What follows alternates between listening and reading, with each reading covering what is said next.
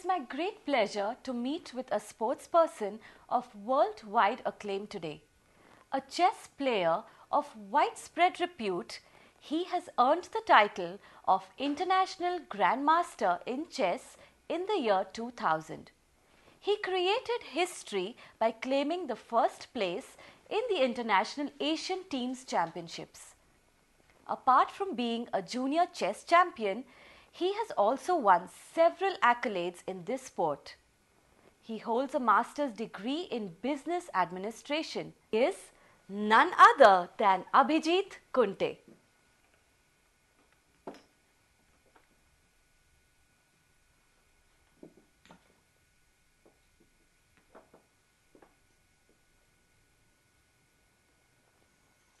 A warm welcome to you, Abhijit. A renowned grandmaster in chess.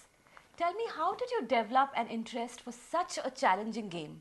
Well, basically, my entry into chess was just by luck because my sister used to play chess and there was nobody to accompany her for a chess club. So that's the way I started playing my game. Who were your guides through this whole learning experience? I started playing chess with Mr. Fadke, Mohan Fadke, he is from Pune. I started learning from him from the age of 8 in 1984 and slowly I shifted to Mr. Arun Vaidya who is an international master from Mumbai. Then when I became international master in 97 I started taking coaching from a lot of international players like Vladimiro from Russia, Kazakh Aliyev from Kazakhstan, then we had Ubilava from Spain, then I had some sessions with Salov who was that time world number 3 from Russia. So they were very useful for me. Generally, there are three stages to any game learning the fundamentals, practice, and participation in the tournaments. What is your experience amongst all these phases of the game? Yeah, I think it's a very good question because the third phase, that is competitive sports, that is what makes a com- professional from amateur.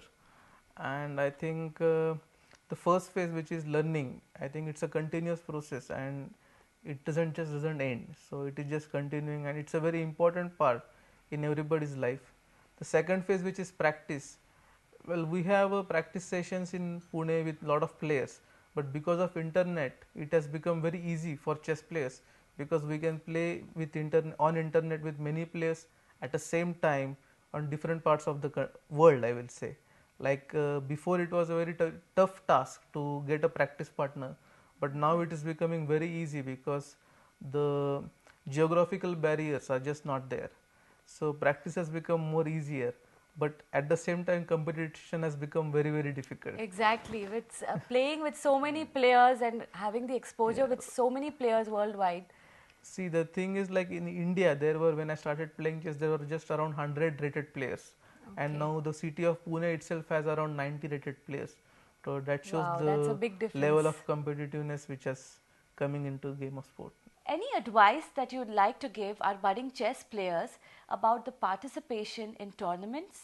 Well, in a chess there is a systematic structure like you have to first play in a district level tournaments, then you have to play in a state level tournaments, then you qualify for nationals, right. and then to Asian Games and then to World Olympics or the uh, World Championships. Okay. So you have to start from a district level. Basically, since it's a individual sports, there are no clubs activities required. Like you did not enter through definitely some club. Okay. You can just appear as an individual. You can just nominate your own name yeah. in the tournament. Yeah. tournament. So in a district level tournament okay. or a state level tournament. Okay. So that makes much more easier for an individual to get entry into the game of chess and uh, then according to your performance automatically you improve. Right. And i think the minimum qualification okay first of all i think you need a love for the game. Otherwise it's not possible to play any game. So Absolutely. i think that's the i think the first requirement and the patience to, to play it. Of course. Just chess, requires a lot of patience. i'm sure patience is the name of the game. Yeah. Which institutes are associated with this game? What do they do for the sport and for the players Basically in Pune we have a lot of chess clubs and chess academies which are uh, doing a lot of activities in coaching. Okay. I think Pune itself has more than 30 chess academies or clubs which is uh, having uh, I think Saturday Sunday coaching classes and everyday okay. practice sessions. Then we have a Pune District Chess Association and Buddhibal Krida Trust who are organizing a lot of tournaments. Then we have uh, Buddhibal Prasarak Mandal and some other small clubs also. They are also organizing small level tournaments. Then we have Maharashtra State Association, which is a body which looks after the chess uh, game in Maharashtra.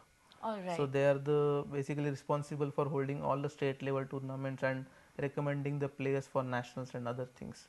Then we have All India Chess Federation, which does Right. the same work at India level, and World Chess Federation for the. Absolutely. But is there, uh, like, can we get more information about these uh, Yes, there- entities on the internet or through newspapers? all the I think most of these chess clubs and the associations have their own websites. Okay. everybody so can if you visit the search website, and get onto the internet, you can get a lot of information. and a lot of tournament is happening like uh, i think almost every week there is a tournament in india Okay. so but ample eh, exposure there. yes The molding of a sports person entitles a lot of factors the player himself, the coaches, the spectators, and most importantly, I'm sure, family support. What have all these entities, what kind of a role have they played for you during the learning of this game?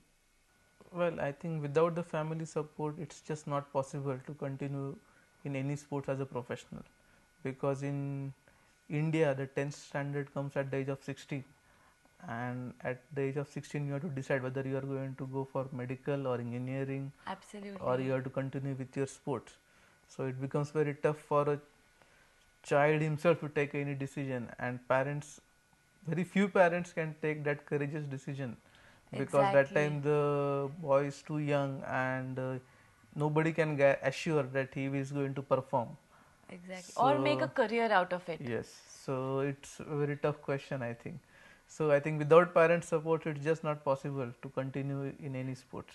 And I think coaches have a very important role to play because what happens at the young age we get a lot of training, and if it is not done properly, you know, even at the age of 16, 17, even if you get a good trainers, it is very difficult to change your style afterwards. It becomes a very tough thing to happen and or it uh, takes out three or four important years of your career and at 16 to 20 is a very important period for everybody's life to That's do right. something and i think coaches have a very important role to play i think okay spectators ha- have doesn't have much role to play in chess because it's Yeah. not a very spectator friendly sports but i think the support which the players gets from the general public because chess is normally known as a game of intellectuals and the game of a brilliant people i will say and so in that case i think the support which we get from a society i will say that is very good like you know they always expect that the chess player should be brilliant intelligent they should perform well at the academy. I'm sure you fit that bill since you are And, a uh, grandmaster. I think that is why I think I see the most of the chess players. I think they have continued with their academic careers. I think that's a very important part. I think the spectators have played in the game of chess. I think because in other sports I have seen many players who have left studies for their sports, but in chess since it's a game of intellectuals, they are not allowed to do so. A sports person shares a very special bond with his spectators.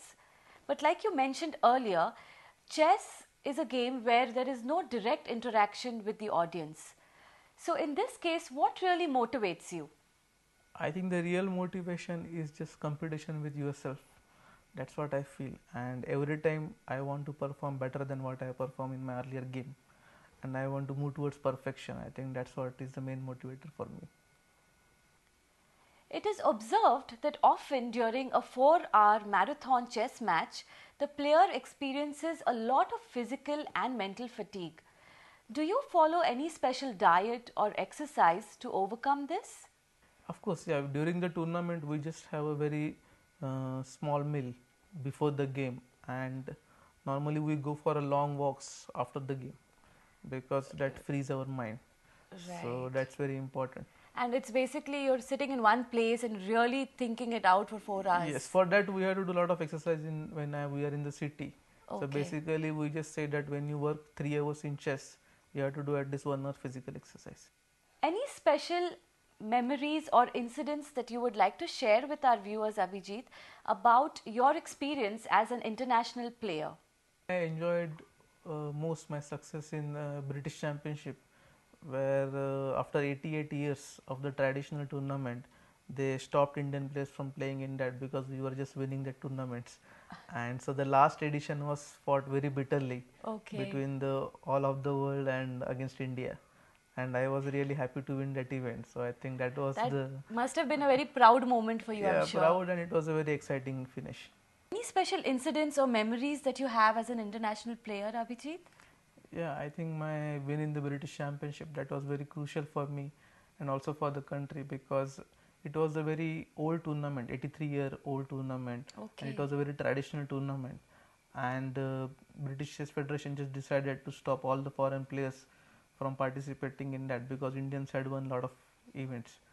And so the last event was fought very bitterly between the British, Scotland, Wales, German, France, Switzerland versus India Wow. and I was really happy to win that event for India, and I think that was a really nice victory for me. I'm sure it was a very proud moment for India also. Yeah, thank you. It was really good.